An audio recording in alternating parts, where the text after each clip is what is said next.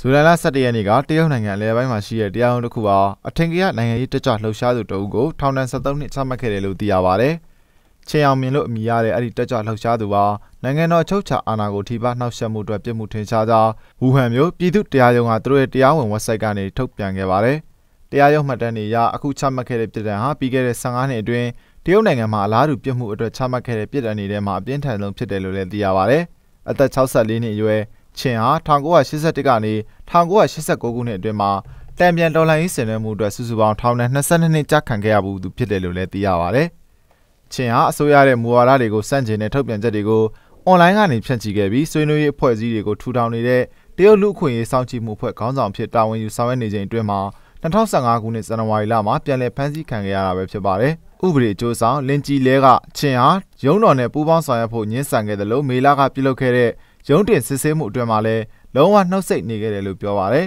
။ချင်းရဲ့နောက်ထပ်ဥပဒေအကျိုးဆောင်တဦးကလည်းသူဟာအဲ့ဒီပြစ်ဒဏ်တွေစိတ်ပြက်လက်ပြက်ဖြစ်နေပြီးကောက်ချစ်တဲ့တရုတ်အစိုးရပေါ်အမျက်ဒေါသထွက်နေတယ်လို့ဒီပြစ်ဒဏ်ကိုကျင်းသေးပေါက်အယူခံဝင်သွားမှာဖြစ်တယ်လို့ပြောကြားခဲ့ပါတယ်။ဝါရင်တက်ကြွလှုပ်ရှားသူတဦးဖြစ်တဲ့ချင်းနဲ့အခြားတက်ကြွလှုပ်ရှားသူတွေဟာတရုတ်ဒီမိုကရေစီပါတီကိုတရားဝင်မှတ်ပုံတင်နိုင်ဖို့ကြိုးပမ်းခဲ့ပြီးနောက်1998ခုနှစ်နောက်ပိုင်းကလည်းပြည်ထောင်ချမှတ်ခံခဲ့ရတယ်လို့သိရပါတယ်။ ကွယ်လွန်သွားပြီဖြစ်တဲ့တရုတ်အစိုးရအတိုက်ခံငြိမ်းချမ်းရေးနိုဘယ်ဆုရှင်လှူရှောင်းဇနီးဖြစ်သူလှူရှာဟာ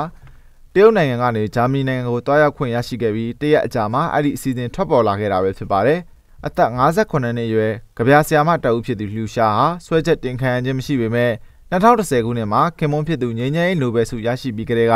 သူမရဲ့သွာလာလှုပ်ရှားမှုတွေကိုအပြင်းထန်ပိတ်ပင်ကန့်သက်ခံခဲ့ရလည်းဖြစ်ပါတယ်။လှူရှာမှုကိုနိုဘယ်ဆုချီးမြှင့်မှုဟာတရုတ်အစိုးရကိုအမျက်ဒေါသထွက်စေခဲ့တယ်လို့သိရပါတယ်။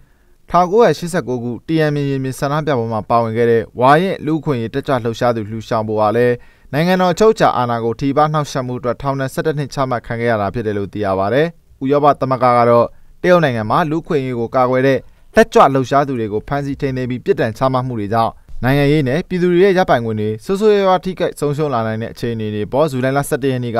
ဝေဖန်ပြစ်တင်ခဲ့တယ်လို့သိရပါဗျ။